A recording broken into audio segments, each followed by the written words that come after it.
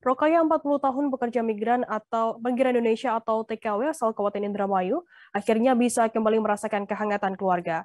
TKW asal Desa Eretan Wetan, Kecamatan Kandang Haur itu tiba di rumah pada Kamis 13 Januari sekira pukul 10 malam. Rokaya mengaku bahagia akhirnya bisa pulang dari Arbil, Irak. Di balik kebahagiaannya itu, Rokaya mengaku trauma dengan apa yang dialaminya selama di negara Timur Tengah tersebut. Rokaya sendiri sebelumnya viral seusai video minta tolongnya ke Presiden Joko Widodo viral. Informasi lebih lengkapnya akan disampaikan oleh rekan jurnalis kami dari Tribun Cirebon ada Handika Rahman di sana. Halo Handika. Halo Firda. Ya, Handika bisa Anda informasikan bagaimana perasaan dan kondisi Rokaya sendiri setelah akhirnya bisa pulang ke Indonesia? Baik, Firda, dapat kami informasikan dengan pulangnya Rokaya ke rumahnya ya di Kabupaten Indramayu, tepatnya di Desa Eretan Wetan, Kecamatan Kandang Haur, tentu sangat disambut gembira baik dari pihak keluarga maupun dari Rokaya sendiri. Rokaya eh, mengaku sangat bahagia setelah akhirnya dia bisa menginjakan kembali kakinya di rumahnya tersebut pada Kamis 13 Januari 2001 sekitar pukul 10 malam tadi. Uh, pada kesempatan itu, Rokaya juga menyampaikan sangat uh, bahagia hingga meneteskan air mata uh, saat ia akhirnya bisa terbang ya dari negara Arbil Irak, uh, kemudian transit di Turki dan akhirnya tiba di Bandara Soekarno-Hatta Jakarta dan uh, menjalani karantina dan akhirnya sekarang ini beliau sudah tiba di rumahnya di desa Eretan Wetan, Firda. Mhm. Kemudian bagaimana cerita darinya saat ia berada di Arbil, Irak?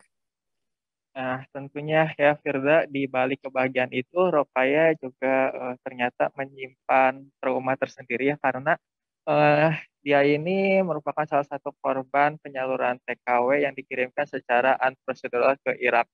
Uh, dia sangat trauma uh, atas semua yang dialaminya selama berada di negara Timur Tengah tersebut.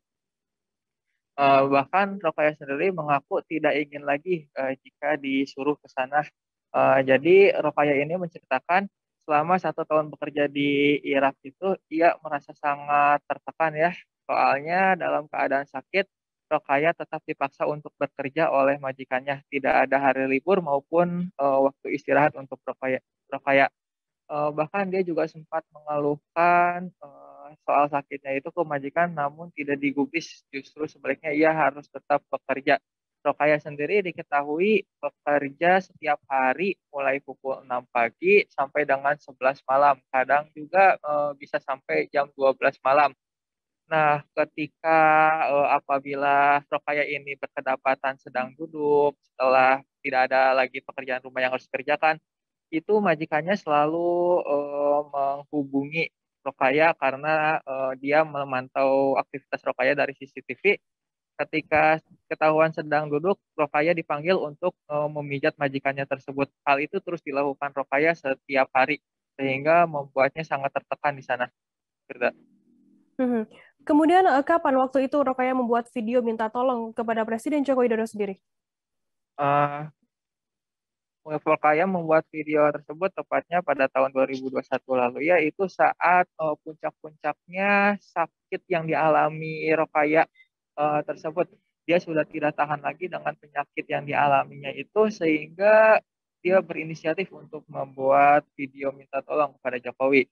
Hal ini dikarenakan Rokaya sendiri kebingungan uh, harus melakukan apa mengingat uh, sakit yang deritanya itu uh, sudah sangat parah, dia juga sudah melaporkan kondisi kesehatannya kepada sang majikan maupun agensi, namun tetap tidak digubris sehingga uh, dia mencari alternatif lain dengan cara membuat video minta tolong yang ditunjukkan langsung kepada Presiden RI Joko Widodo sehingga viral di media sosial dan akhirnya uh, Rafaya bisa tertolong dibawa ke rumah sakit oleh pihak KJRI dan uh, sekarang ini sudah bisa pulang ke tanah air.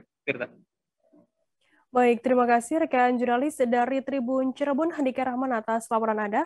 Dan tadi Tribuners Handika juga sudah menghimpun keterangan dari TKW asal Indramayu bernama Rokaya. Berikut liputannya untuk Anda. Ya kan saya di sana uh, sakit-sakitan terus ya.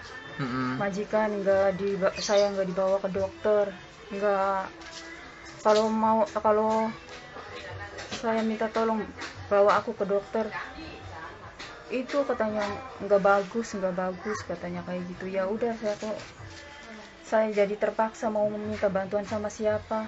Hmm. jadi saya bikin video sendiri. Asalkan hmm. saya bisa pulang dari situ. Video yang minta tolong Pak Jokowi itu? Iya. Itu waktu itu kondisi ibu lagi parah banget berarti ya, iya itu apa ininya tuh?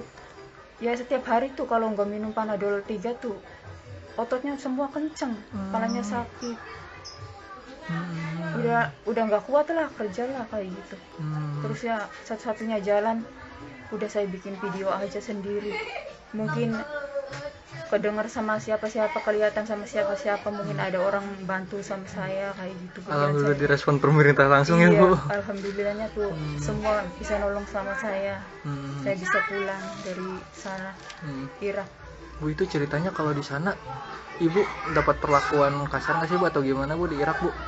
Ya enggak sih, cuman nggak boleh pulang aja kan harus bayar denda. Terima kasih sudah nonton. Jangan lupa like, subscribe, dan share ya.